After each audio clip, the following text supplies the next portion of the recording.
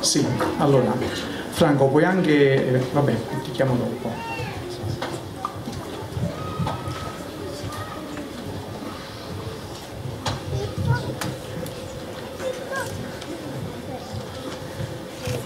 Buonasera a tutti, io mi chiamo Alessandro, ho 30 anni e sono di San Severo. Lei è mia moglie, Assunta, e ha 25 anni anche lei è di San Severo. Conobbi il Signore nel 99, vi parlo del Signore la sorella Anna Daloia. Nel 99 avevo 18 anni e sinceramente pensavo a tutt'altro. eh, Molte volte non... eh, non ascoltavo neanche ciò che mi diceva la sorella. Ma un giorno mi regalò una Bibbia. Quella Bibbia stette a prendere polvere per, per un bel po' di tempo sullo scalfale della mia cameretta. Ma un giorno avevo deciso di aprirla e di sfogliarla. E attirò il mio sguardo il capitolo 2 di Efesini, il versetto 8 e 9 dove Paolo scrive che non è per opere che siamo stati salvati, ma è per grazia mediante la fede. Non è per opera affinché nessun uomo si levanti. A, quelle- a quel passo io rimasi distrutto, perché avevo- io pensavo che se in cielo solo se una persona si, si fosse comportata bene, se avesse fatto delle buone opere. Insomma, perché a 18 anni io non ho fatto niente e il Signore non mi dovrebbe salvare? Quel, quel passo fu la spiegazione. Subito dopo iniziai a frequentare le riunioni nell'Assemblea Cristiana Evangelica in Via Lecce e dopo due mesi accettai il Signore. Piegai le ginocchia davanti al Signore e confessai al Signore che ero un peccatore. E ho aperto il mio cuore a Cristo accettandolo quale proprio personale salvatore. Da quel giorno in poi la mia vita cambiò.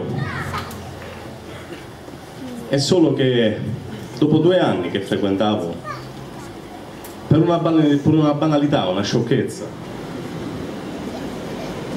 mi allontanai piano piano da quelle riunioni, dall'adunanza. E pian piano cominciai a fare di nuovo la vita che facevo prima. Allontanandomi dall'adunanza, voltai le spalle anche al Signore, perché non leggevo più, non avevo più comunione con la preghiera. Dopo un breve periodo, il mio pensiero ritornava fisso al Signore e volevo ritornare, ma non sapevo più come fare. Ero bloccato, non avevo più il coraggio di tornare indietro. Un giorno conobbi mia moglie, Assunta. Ci siamo frequentati per un periodo di tempo, ci fidanzammo e dopo due anni ci sposammo. Adesso per i dettagli passo la parola a mia moglie.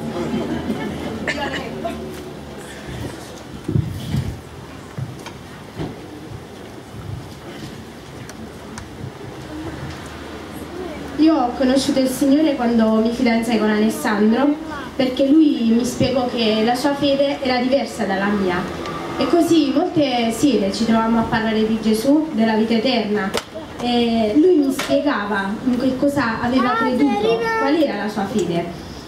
E io però non accettavo quello che lui mi diceva perché non corrispondeva a quello che mi era stato insegnato e quindi molto spesso su questo litigavamo. E lui a sua volta mi invitava a leggere la Bibbia per confrontare quello che lui mi diceva con quello che la Bibbia diceva, ma io non l'ho mai fatto perché dentro di me io avevo paura che lui avesse ragione e non volevo affrontare poi tutte le conseguenze, affrontare la famiglia e, e tutto quello che comportava. Poi dopo due anni di fidanzamento ci siamo sposati e ancora dopo due anni è nata la nostra piccola Alessia che oggi ha quattro anni.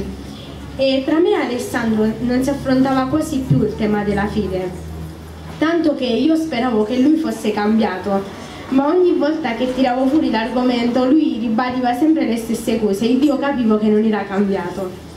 Comunque durante questi anni io sentivo dentro di me un malessere, ero triste, sentivo un vuoto, una solitudine, non capivo il perché. Poiché avevo una bella famiglia, io e mio marito ci amavamo, andavamo d'accordo, avevamo una splendida bimba, eppure non ero serena. Così un pomeriggio, dove mia figlia dormiva e Alessandro era al lavoro, spinta sempre da quel, da quel vuoto, da quella solitudine, presi la Bibbia che era sulla mensola della cucina e la aprì, iniziai a leggerla. E così facevo ogni pomeriggio, ogni giorno leggevo la Bibbia, con lo scopo di arrivare fino all'ultima pagina per scoprire la verità. E così più leggevo e più mi appassionavo, perché stavo imparando a conoscere Dio e quello che aveva fatto Dio per l'uomo. Leggendo scoprivo tante cose che non sapevo, tra cui la certezza di poter ricevere la vita eterna se lo si vuole quando finì di leggere la Bibbia, decisi di seguire Gesù, non come io pensavo e volevo, ma come la Bibbia in quei pomeriggi mi aveva insegnato. Così il 7 ottobre 2009 mi inginocchiai e chiesi perdono a Dio dei miei peccati, chiedendo a Gesù di entrare nel mio cuore come Signore e Salvatore. E da quel momento Dio mi diede in dono la vita eterna. Grazie. E potete immaginare, al mio ritorno, lei mi diede questa notizia ed è stata per me una notizia bellissima. Due anni fa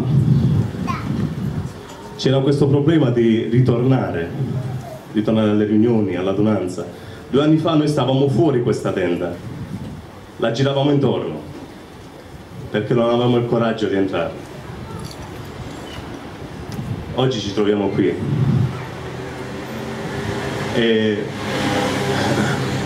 non abbiamo avuto il coraggio di andare due anni fa in questa tenda, ma poi il coraggio lo trovammo e andammo una sera a casa dell'anziano dell'assemblea di Giuseppe e fu una gioia per noi e anche per loro. Ci, ci riabbracciamo. E quello che vogliamo dire ai nostri parenti che sono qui a trovarci e anche qualche amico che ci è venuto a trovare, che noi non abbiamo messo la, la nostra vita, non è stata messa nelle mani di una religione, nelle mani degli uomini, ma nelle mani di Dio, del Dio vivente, del Dio vero. I problemi ci sono, i problemi ci saranno, ma adesso abbiamo un'opportunità, abbiamo l'opportunità di vedere la mano di Dio che opera nella nostra vita. Grazie. Grazie. Bene, poi